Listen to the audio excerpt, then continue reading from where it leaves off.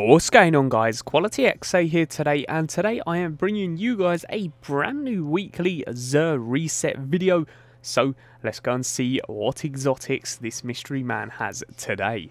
So first up, as always we have the Fated Engram so we're going to open that, hopefully get something new. Not too sure what I actually have if I've got everything, Skyburner's Oath, that indicates to me I've got every exotic once again.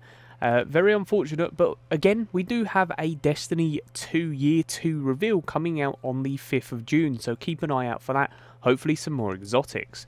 Oh well, first off, moving on, we have the Wings of Sacred Dawn, possibly the best looking Warlock armor, but one of the worst abilities for it. So for this you get Tome of Dawn.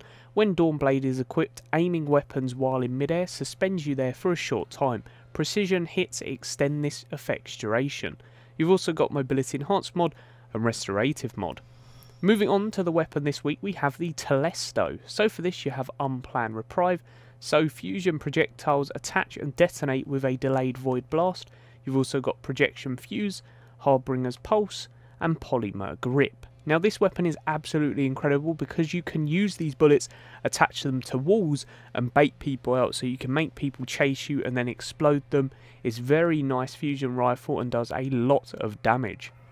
Moving on though, we have the Frosties. That's it. Well, that's what I call them anyway. So you get rapid cooldown. So increased grenade, melee, and dodge regeneration while sprinting. Dodging increases your sprint speed. You've also got mobility enhanced mod and plasteel reinforcement mod. Now these are actually very good boots. From what I've heard, the rapid cooldown that you actually get is incredible. And just the look of them aesthetically, they do look really cool. When you run, they do turn white. They are really awesome boots. And I'm definitely picking these up for my hunter this week. And then last but not least, we have the Eternal Warrior for the Titan. So you get Resolute. Gain an overshield when activating Fists of Havoc. You also got Mobility Enhanced mod and Restorative mod. Now, this is actually a pretty good exotic only when you guys are low health. Apart from that, it is pretty useless, but sometimes in Crucible this can become very helpful, especially when you're running away from someone, you activate fists, and uh, you can actually just use that little bit of extra overshield that you do get to attack them. So what I recommend this week? Definitely the Frosties as well as the Telesto. As always, the Fated Engram as well if you have any legendary shards spare.